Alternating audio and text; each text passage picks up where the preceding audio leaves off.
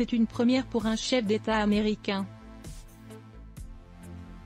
Soupçonné d'avoir falsifié des frais de campagne et donc inculpé au pénal, Donald Trump a comparu ce mardi devant un juge du tribunal judiciaire de Manhattan, où il a plaidé non coupable des 34 chefs d'accusation à son encontre.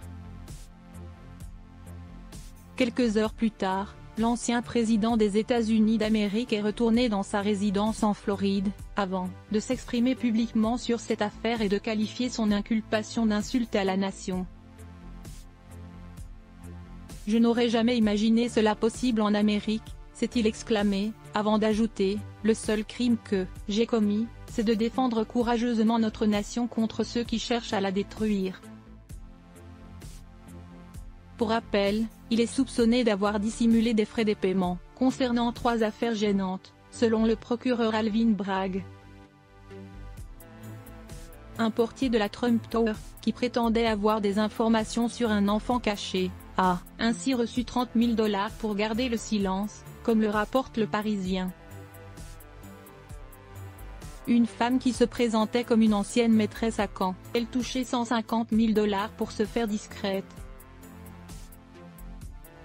Enfin, l'affaire qui semble faire le plus de bruit concerne l'actrice de film pornographique Stormy Daniels, qui aurait reçu 130 000 dollars de la part du républicain pour qu'elle se taise au sujet d'une supposée relation extra-conjugale.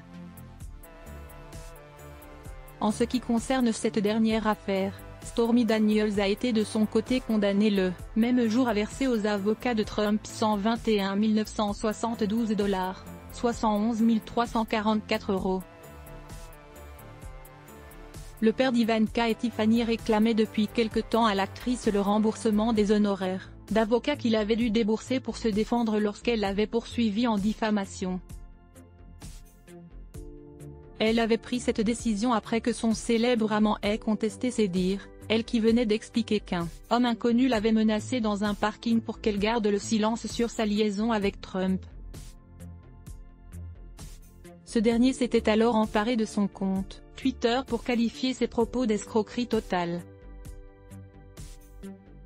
L'actrice avait alors porté plainte mais avait finalement perdu son procès par la suite, un juge fédéral estimant que ce tweet constituait une hyperbole rhétorique normalement associée à la politique et au discours public aux États-Unis.